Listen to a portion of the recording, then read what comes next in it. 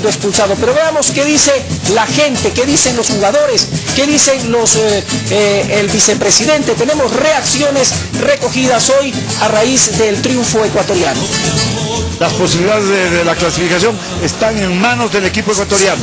Ya está en una posición expectante, en una buena posición ganó un partido clave, eh, pero esto se, se, va, se va a decidir al final. Estamos felices, es un, un, gran triunfo, muy importante, estamos con posibilidades de clasificación y hay que seguir haciendo fuerza y apoyando a la selección. Es que el equipo sigue jugando y sigue jugando bien con los jóvenes, con los recambios y eso es bueno, saber que ya no contamos con 13, 14 jugadores, sino con 18, 20. Siempre tuve fe en Ecuador, así como ustedes también la tuvieron, aunque a veces eh, se me resquebrajaron un poco, pero volvemos a tener fe, volvemos a soñar y volvemos a creer que podemos clasificar nuevamente. Vamos por la tercera.